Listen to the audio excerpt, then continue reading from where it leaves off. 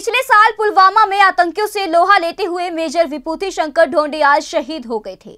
तब उनकी पत्नी निकिता कौल के साथ उनकी आखिरी मुलाकात ने सभी की आँखें नम कर दी थी। शादी के 10 महीने बाद ही पति को खोने पर निकिता ने भी सेना में जाने का मन बनाया था। इसके लिए उन्होंने सारी परीक्षाएँ और इंटरव्यू भी पास कर लिए हैं। निकिता अब मेरिट लिस्ट के इंतज़ार में हैं।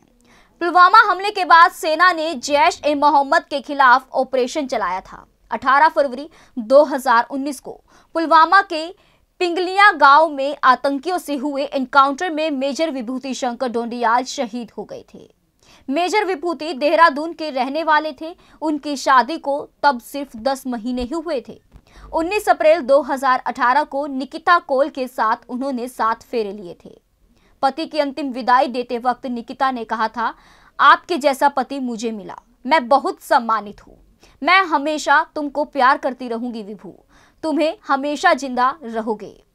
I love you Vibhu major Vibhuti ना सिर्फ़ निकिता के पति, बल्कि उनके बेस्ट फ्रेंड भी थे। पति की शहादत के बाद निकिता ने सेना में शामिल करने की इच्छा जताई थी। निकिता कौल ने पिछले साल नवंबर महीने में एसएससी का एग्ज़ाम दिया था और अब वह अपने पति के नक्शे कदम पर चलते हुए सेना में शामिल होना चाहती है। फ़िलहाल वह मेरिट लिस्ट का इंतज़ार कर रही हैं। चौंतीस साल के मेजर विभूति ढोंडियाल सेना के 55 आर आर में तैनात थे। वह तीन बहनों के इकलौते भाई थे। मेजर विभूति को बचपन से ही सेना में शामिल होने का जुनून था। वह दो बार फेल भी हुए, लेकिन फिर भी आखिरकार उन्हें सफलता मिली।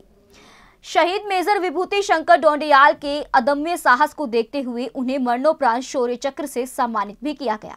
18 फरवरी को ऑपरेशन शुरू हुआ तो आतंकियों ने गोलाबारी शुरू कर दी।